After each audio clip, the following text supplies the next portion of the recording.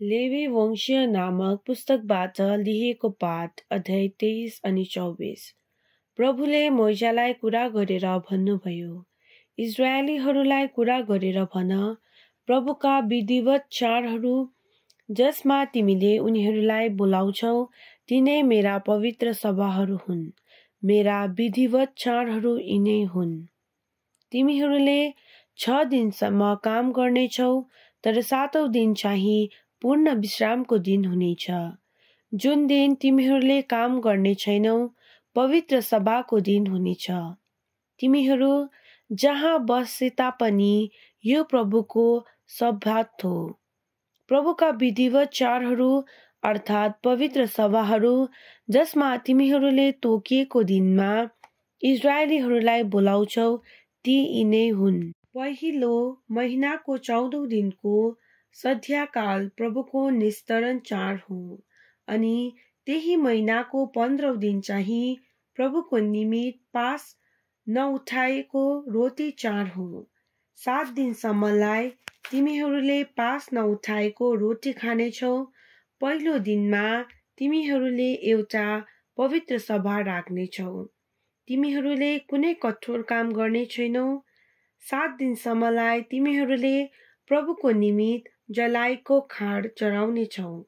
सात दिनमा एउटा पवित्र सभा हुनेछ तिमीहरूले कठोर काम गर्ने छैनौ। प्रभुले मोजालाई कुरा गरेर भन्नुभयो इजरायलीहरूलाई कुरा गरेर भन। मैले तिमीहरूलाई दिइरहेको देशमा जब तिमीहरू पस्नेछौ अनि त्यहाँ फसल काट्नेछौ तिमीहरूले आफ्नो फसलको प्रथम वाली पुरोहित कहाँ ल्याउनेछौ। अनि उनले त्यसलाई प्रभुका उठाउने भेटीको रूपमा अर्पण गर्नेछन् जसमा कि तिमीहरू ग्रहण हुन सकौ पुरोहितले त्यो भेटी विश्राम दिवसको भोलिपल्ट चढाउनेछन् अनि तिमीहरूले यो भेटी चढाएकै दिनमा प्रभुलाई होम बलिको रूपमा एउटा एक वर्ष खोट रहित मेम्ना चढाउनेछौ। त्यस दिनको निमित अन्न बलि तेलमा मिसाएको गहुँको पिठोको एक एफाको दुईवटा दस भाग हुनेछ। प्रभुलाई मन प्रसन्न सुगन्धको रूपमा जलाएको काँध। पेय बलि चाहिँ दाकरसको एक पवाहीन हुनेछ। तिमीहरूले यस दिनको अघि रोटी गहुँको भुटेको बुवाली अथवा नयाँ उत्पादन प्रभुलाई भेटी चढाएसम्म खाने छैनौ। तिमीहरू जहाँ बसे तापनि यो तिमीहरूको सन्तानहरूको निमित पुस्ता दर पुस्ता एक निरन्तर नियम हो। विश्राम दिवसको भोलिपल्टदेखि जुन दिन तिमीहरूले बाली भेटी ल्याउँछौ तिमीहरूको पुरा सात सप्ताहहरू गर्नेछौ तिमीहरूले पचास दिन गर्नेछौ सातौँ विश्राम दिवसको भोलिपल्टसम्म। अनि तब तिमीहरूले प्रभुलाई एउटा नयाँ अन्न भेटी चढाउनेछौ। तिमीहरूले उठाउने भेटीको रूपमा अर्पण गर्नलाई आफ्ना घरहरूबाट रोटी ल्याउनेछौ तेल मिस्याएको गहुँको पिठोको एक एक एफाहाको दुईवटा दस भागले बनेको दुई पौ रोटीहरू प्रभुको निमित प्रथम उब्जने यिनै हुन् अनि रोटी बाहेक तिमीहरूले एक वर्षै खोट रहित सात मेमनाहरू एउटा बछेरा अनि दुई भेडाहरू प्रभुलाई होम बलिको रूपमा अन्न बलि र पेय बलिको साथमा चढाउने छौ। प्रभुलाई मन प्रसन्न सुगन्धको रूपमा जलाएको काठ चाहिँ तिमीहरूले पाप प्रायश्चित बलिको रूपमा एउटा बाख्रा अनि शान्ति बलिको रूपमा एक वर्ष दुई मेमनाहरू पनि चढाउने छौ। पुरोहितले तिनीहरूलाई उठाउने बलिको रूपमा प्रभु समक्ष अर्पण गर्नेछन्। प्रथम उब्जनीको रोटीको अतिरिक्त यी चिजहरू र दुई मेम्नाहरू प्रभुको निमित पवित्र चिजहरू हुन् अनि ती पुरोहित कहाँ फर्किआउनेछन्। त्यही दिनमा तिमीहरूले एउटा सभा राख्नेछौ तिमीहरूको निमित एउटा पवित्र सभा हुनेछ। तिमीहरूले कुनै कठोर काम गर्ने छैनौ तिमीहरू जहाँ बसे तापनि यो तिमीहरूको सन्तानहरूको निमित निरन्तर नियम हो। जब तिमीहरूले आफ्नो देशको फसल कटनी गर्नेछौ तिमीहरूले खेतको किनारौसम्म कटनी गर्ने छैनौ। न त तिमीहरूले फसलको सिला नै टिप्नेछौ। तिमीहरूले ती सब गरिब र परदेशीहरूको निमित छाड्नेछौ। म प्रभु तिम्रो परमेश्वर हुँ। प्रभुले मोजालाई कुरा गरेर भन्नुभयो इजरायलीलाई कुरा गरेर भन सातौँ महिनाको प्रथम दिन तिमीहरूको निमित एक विश्राम दिवस एक स्मरण दिवस जय जयकार दिवस र एउटा पवित्र सभा दिवस हुनेछ। तिमीहरूले कुनै कठोर काम गर्ने छैनौ अनि तिमीहरूले प्रभुको निमित चलाएको काठ चढाउनेछौ। प्रभुले मैजालाई कुरा गरेर भन्नुभयो तर सातौँ महिनाको दसौँ दिन प्रायश्चित दिवस हुनेछ तिमीहरूले एउटा पवित्र सभा राख्नेछौ तिमीहरूले व्रत राख्नेछौ अनि प्रभुको निमित जलाएको खात चढाउनेछौ तिमीहरूले त्यस दिन कुनै काम गर्ने छैनौ कारण यो प्रायश्चितको दिन हो जसमा प्रभु तिम्रो परमेश्वर समक्ष तिम्रो लागि प्रायश्चित कार्य सम्पन्न गरिनेछ। जसले पनि त्यस दिन व्रत राख्दैन उसलाई आफ्नो जातिबाट बहिष्कृत गरिनेछ जसले त्यस दिन काम गर्छ म जातिबाट उसको नामो निशान मेटाउने छु। कुनै काम गरिने छैन। तिमीहरू जहाँ बसे तापनि तिमीहरूका सन्तानहरूको निमित यो एउटा निरन्तर नियम हो। यो तिमीहरूको निमित एक पूर्ण विश्रामको दिवस हुनुपर्छ। तिमीहरूले व्रत राख्नेछौ। महिनाको नव दिनको सन्ध्यामा यो सन्ध्यादेखि आउँदो सन्ध्यासम्म तिमीहरूले पूर्ण विश्राम लिनेछौ मोजालाई कुरा गरेर भन्नुभयो इजरायलीहरूलाई कुरा गरेर भन। यो सातौँ महिनाको पन्ध्रौँ दिनमा प्रभुको निमित एउटा छाप्रो बाँसको चाड सात दिनसम्मलाई हुनेछ। प्रथम दिन पवित्र सभाको दिन हुनेछ। तिमीहरूले कुनै कठोर काम गर्ने छैनौ। सात दिनसम्म तिमीहरूले प्रभुको निमित जलाएको काठ चढाउनेछौ आठौँ दिनमा तिमीहरूले एउटा पवित्र सभा राख्नेछौ अनि तिमीहरूले प्रभुको निमित जलाएको काठ चढाउनेछौ यो एउटा विधिवत सभाको दिन हो। तिमीहरूले कुनै कठोर काम गर्ने छैनौ। प्रभुका विधिवत चाडहरू यिनै हुन् जसमा तिमीले इजरायलीहरूलाई पवित्र सभाहरूको निमित बोलाउनेछौ जसमा कि प्रभुको निमित जलाएको काठ चढाउन सकियोस्। होम बलिहरू अन्न बलिहरू बलिहरू र पेय बलिहरू भएको। प्रत्येकलाई आफ्नो तोकिएको दिनमा प्रभुका सबातहरू अनि तिम्रा भेचीहरू तिम्रा सबै भाकल र स्वेच्छाका भेचीहरू बाहेक जुन तिमीहरूले प्रभुलाई चढाउँछौ।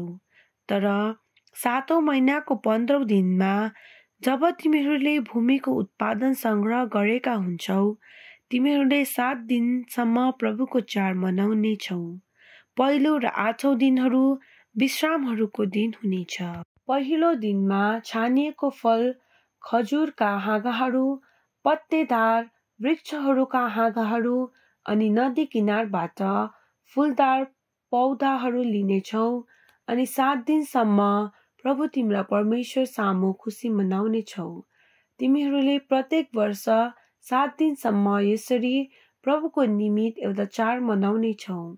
यो तिमीहरूको सन्तानहरूको निमित एउटा निरन्तर नियम हो। तिमीहरूले यो चाड सातौँ महिनाको अन्तमा राख्नेछौ कारण सात दिनसम्म तिमीहरू छाप्रावासहरूमा बस्नेछौ इजरायलका सारा नागरिकहरू छाप्रावासहरूमा बस्नेछन् जसमा कि तिम्रा सन्तानहरूले जान्न सकुन् कि मैले इजरायलीहरूलाई जब मिश्रबाट बाहिर निकाले तब तिनीहरूलाई छाप्रा वासहरूमा बसाए म प्रभु तिम्रो परमेश्वर हुँ। मोजाले तब प्रभुका विधिवत चाडहरूको घोषणा इजरायलीहरूलाई गरिदिए।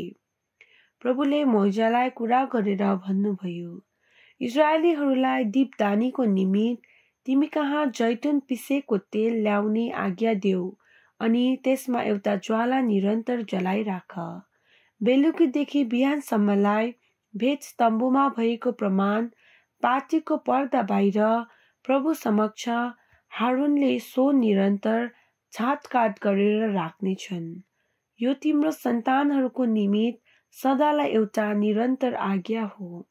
हारुनले प्रभु समक्ष त्यो शुद्ध दीपदानीमा बत्तीहरूलाई निरन्तर छाटकाट गरेर राख्नेछन्। तिमीले गहुँको पिठो लिएर बाह्र पौरोटीहरू पकाउनेछौ। प्रत्येकमा एफाहको दुईवटा दस भाग होस्। तब तिमीले तिनीहरूलाई प्रभु समक्ष शुद्ध टेबलमा छ छको दुई पङ्क्तिमा राख्नेछौ अनि स्मरणको प्रभुको निमित्त जलाएको काँधको रूपमा त्यसलाई अर्पित काँध बनाउनलाई प्रत्येक पङ्क्तिमा शुद्ध धुप राख्नेछौ। प्रत्येक विश्राम दिवसमा तिनीहरू प्रभु समक्ष सजाइने छन्। इजरायलीहरूले निरन्तर व्यवस्थाको रूपमा तिनीहरूको प्रबन्ध गर्नेछन् तिनीहरू हारुन र उसका पुत्रहरूको हुनेछ जसले तिनीहरू पवित्र स्थानभित्र खानेछन्। कारण उसको निमित्त तिनीहरू प्रभुको निमित्त चढाएको जलाएको काठको विशेष पवित्र भाग हुन्। यो निरन्तर नियम हो। एक व्यक्ति थियो जसको माता इजरायली स्त्री र पिता एउटा मिश्री थियो। ऊ आफ्नो घरबाट बाहिर आयो अनि शिविरमा इजरायलीहरूको बिचमा उसले एक इजरायली व्यक्तिसित झगडा गर्न सुरु गर्यो। अब इजरायली स्त्रीको पुत्रले इसरा निन्दा गरेर पवित्र नामलाई साप दियो। तब उसलाई मोइजा कहाँ लगियो? उसको माताको नाम सलोमित थियो जो दान कुलका दिब्रीको पुत्री थिइन्। उसलाई कैदमा तबसम्म राख्यो जबसम्म प्रभुको इच्छा उनीहरूलाई स्पष्ट गराएन। प्रभुले मैजालाई कुरा गरेर भन्नुभयो साप उच्चारण गर्ने व्यक्तिलाई शिविर बाहिर लैजाऊ। जसले पनि उसलाई सुने उनीहरूले आफ्ना हातहरू उसको टाउकोमा राख्नुपर्छ अनि त्यसपछि सारा समुदायले उसलाई ढुङ्गा हानेर मार्नुपर्छ। तब इजरायलीहरूलाई भन जसले पनि परमेश्वरलाई सराप्छ उसले आफ्नो पापको दण्ड भोग्नेछ अनि जसले पनि प्रभुको नामको इस निन्दा गर्छ उसलाई प्राण दण्ड दिनेछ। सारा समुदायले उसलाई ढुङ्गा हानेर मार्नेछन् चाहे ऊ प्रवासी होस् वा देशभित्र जन्मेको। यदि उसले त्यो नामको इस निन्दा गर्छ भने उसलाई प्राण दण्ड दिनेछ। जसले पनि अर्को मनुष्यलाई हिर्काएर मार्छ उसलाई प्राण दण्ड दिनेछ। जसले पनि पशुलाई हिर्काएर मार्छ उसले त्यसको बदलामा क्षतिपूर्ति गर्नेछ प्राणको बदला प्राण।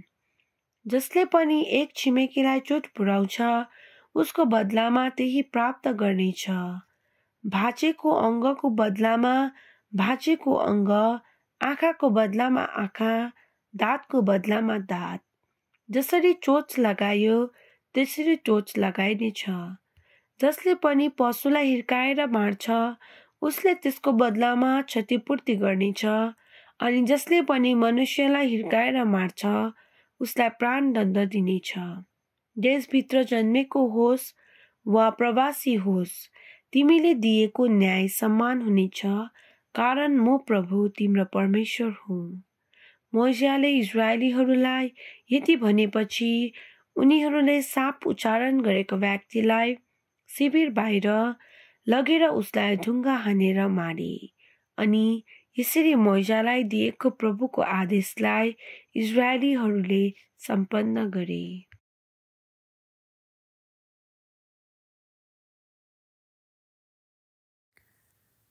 भजन सङ्ग्रह सडसठ। पद सङ्ख्या एकदेखि सातसम्म बाली काट्दाको भजन। हे परमेश्वर उद्धार भई हामीलाई आशिष दिनुहोस्।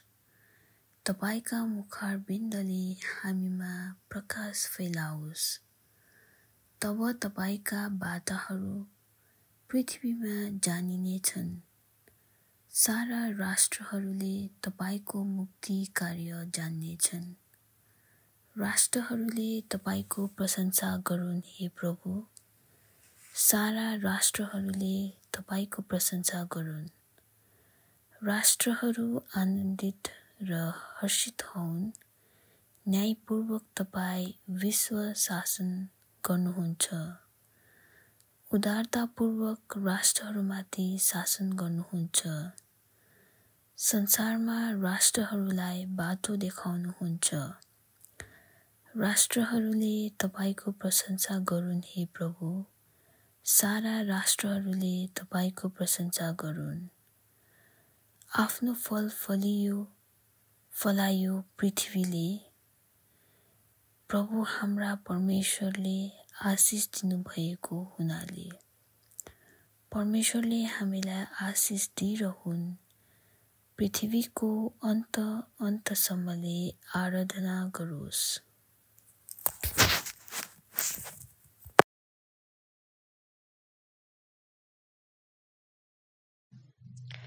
प्रेरितहरूको कार्यविवरण अध्याय सात पद सङ्ख्या एकदेखि तिससम्म।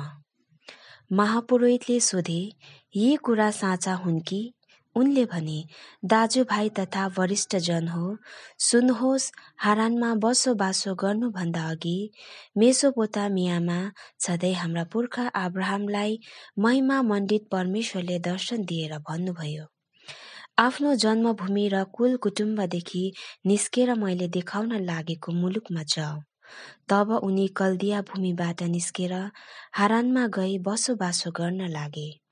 त्यहाँबाट उनका पिताको मृत्युपछि तपाईँहरू अहिले बस्नु भएको यस मुलुकमा उनलाई परमेश्वरले सार्नुभयो तर यहाँ उनलाई आफ्नो भन्नु जग्गा जमिन केही दिनु भएन। एक पाइलो जमिनसम्म दिनु भएन। कुनै सन्तान थिएन तापनि उनलाई र पछि उनका सन्तान दर सन्तानलाई यो मुलुक निजी पार्न दिने वचन दिनुभयो। परमेश्वरले यसो भन्नुभयो उनका सन्तानहरू परदेशमा परदेशी भई बस्नेछन् चार सय वर्षसम्म यिनीहरूलाई कमारो पारी थिचोमिचो गर्नेछन् तर यिनीहरू कमारो भएको त्यस राष्ट्रको म निर्णय गर्नेछु। परमेश्वरले भन्नुभयो त्यसपछि यिनीहरू निस्केर आई यसै मुलुकमा मेरो उपासना गर्नेछन्। त्यसपछि तिनलाई उहाँले सुन्नतको विधान दिनुभयो। यस उसले इसाकलाई जन्म दिएपछि अब्राहमले आठौँ दिनमा उनको सुन्नत गरिदिए। इसाकले याकुब र याकुबले बाह्र कुल पिता हुने आफ्ना बाह्रै छोराहरूको सुन्नत गरिदिए। आरिसमा परेर ती कुल पिताहरूले योसेफलाई मिश्रमा बेची पठाए तर परमेश्वर उनीसँग हुनुहुन्थ्यो र उनलाई जम्मै दुःख कष्टबाट मुक्त गरिदिनुभयो। उहाँले अनुग्रह र ज्ञान दिनुभयो उनलाई। मिश्रका राजा फरुवाको नजरमा जसले उनलाई मिश्रको आफ्ना सारा परिवारको अधिपति बनाए। सारा मिश्र र कनानमा अब ठुलो अनिकाल पर्यो र महादुःख कष्ट आइपर्यो। हाम्रा पुर्खाहरूले अन्न पानी पाएनन्। मिश्रमा अन्न पाइन्छ भन्ने सुनेर याकुबले पहिलोपल्ट हाम्रा पुर्खाहरूलाई त्यहाँ पठाए।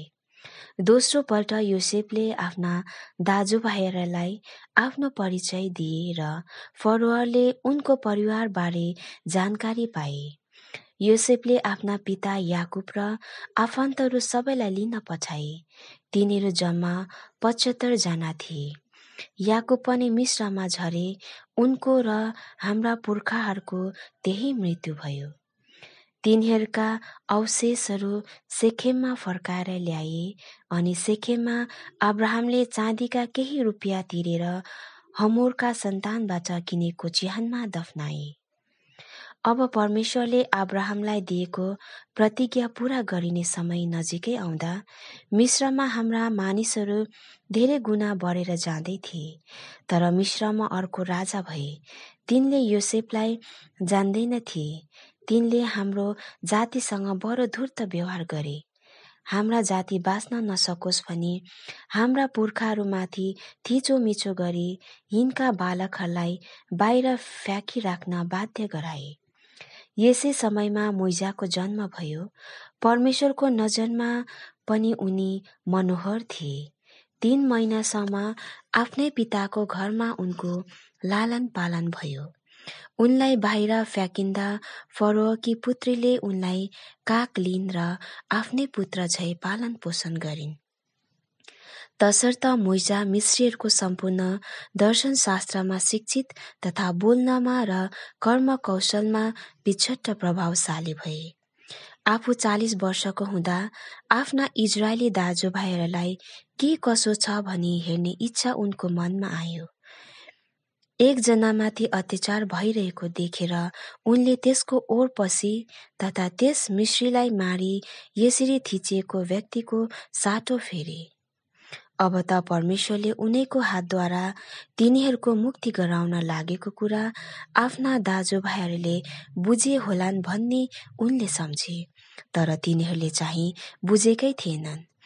अर्को दिन तिनीहरूलाई दुईजना आपस्तमा लडिरहेको भेट्दा शान्ति गराउन मिलाउने कोसिस गर्दै उनले भने हेर मानिसहरू हो तिमीहरू सबै भाइ भाइ किन यसरी आफै आफै मारामार गर्छौ? तर आफ्नो छिमेकीमाथि थिचोमिचो गरिरहेको मानिसले उनलाई एकातिर घचर्दै भन्यो तिमीलाई चाहिँ हाम्रो ढिट्टा विचारी हुनु कसले लगायो? हिजो त्यस मिश्रीलाई मारे जस्तै मलाई पनि मार्ने मन छ कि? कसो हो? यो सुनेर मोइजा त्यहाँबाट भागे र मिधान मुलुकमा परदेशी भएर बसे। त्यही उनका दुई पुत्रहरूको जन्म भयो। चालिस वर्षपछि सिनाई पर्वतको मरुभूमिमा एउटा जलिरहेको पोथ्राको ज्वालामा एकजना स्वर्गदूतले उनलाई दर्शन दिए।